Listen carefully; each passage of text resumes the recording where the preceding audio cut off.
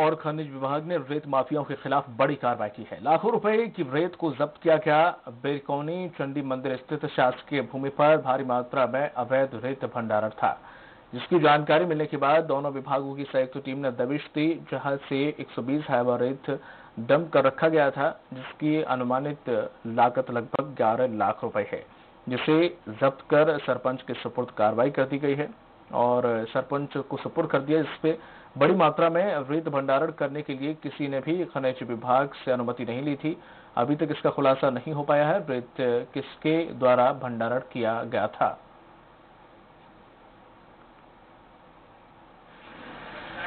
हमको सूचना मिली थी कि बिरकोनी मंदिर जो है, चंडी मंदिर बिरकोनी के पास, वहाँ आसपास कुछ रेत के जो है, डंपिंग किए जा रहे हैं करके। तो इसकी हम लोगों ने तफ्तीश की। तफ्तीश के बाद उस पर कार्रवाई की गई है। ये पाया गया वहाँ पर कि लगभग 120 हाइवा जो है लगभग हम लोगों ने जो काउंट किया है उस पर तो इतनी लगभग मात्रा में वहाँ पर है जो कि लाखों रुपए का रेट है मार्केट रेट के हिसाब से। वहीं किस भी सदी चल रही है।